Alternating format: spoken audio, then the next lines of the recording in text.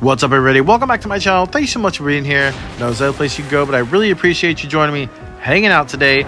If you enjoy my content, make sure you drop a like. Every little bit helps. And if you enjoy my content, also subscribe. I really appreciate it. Today, it's almost Halloween. We got about one more week from the time I'm releasing this video. And what better way to celebrate Halloween than playing a Halloween game?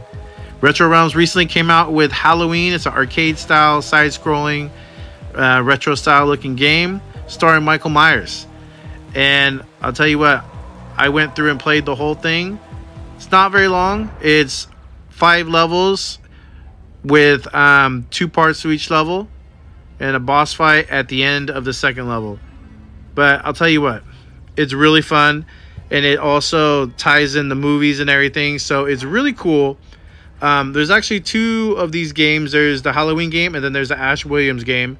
I don't own the Ash Williams game, but you know, I'll consider getting it. I'm not a big Ash Williams guy, but I did buy the Halloween game. 25 bucks. It doesn't break the bank and it's really fun and I think it's got good replay value. It also has like behind the scenes tapes that you could go check out and it talks um, about the developers and talks about different things about the game and related to the movie. So it's really cool.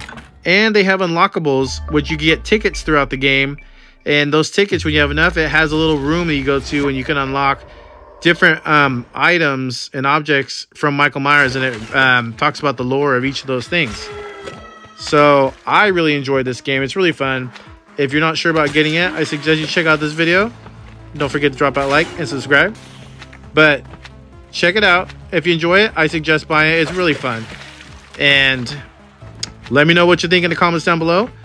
So on that note, let's get started.